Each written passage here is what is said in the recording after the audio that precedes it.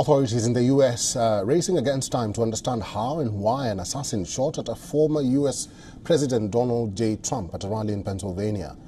The rally took place on the grounds of the Butler Farm Show in western Pennsylvania, about 56 kilometers outside Pittsburgh. At the Butler rally, the assassin was spotted a mere 130 yards from the dais, with the Secret Service sniper neutralizing him after the assassin Thomas Matthews Crooks had taken his five shots. The assassin bullets missed Trump's head by a whisker, but it raises questions on the security provided to the former U.S. president. A U.S. official familiar with the investigation said the shooter used an AR-15 style semi-automatic rifle to carry out the attack. The FBI says the tragic incident is an active and an ongoing investigation.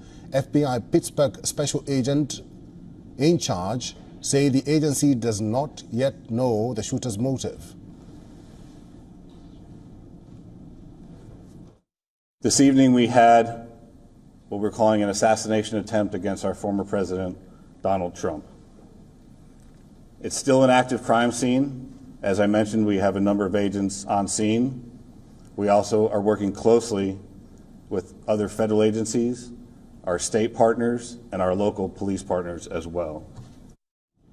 When asked if the shooter acted alone, Pennsylvania State Police said it was too early to answer the question.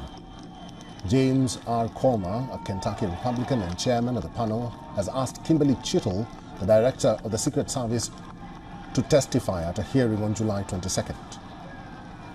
The U.S. Secret Service, a federal law enforcement agency under the Department of Homeland Security, is tasked with protecting American politicians, their families, and visiting heads of state and government.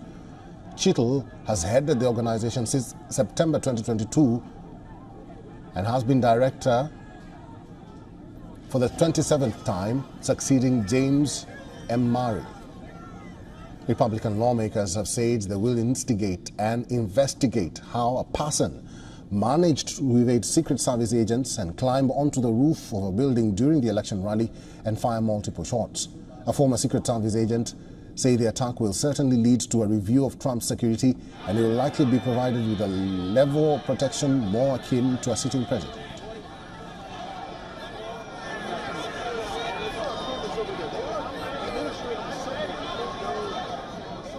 For all the latest news, download the WION app and subscribe to our YouTube channel.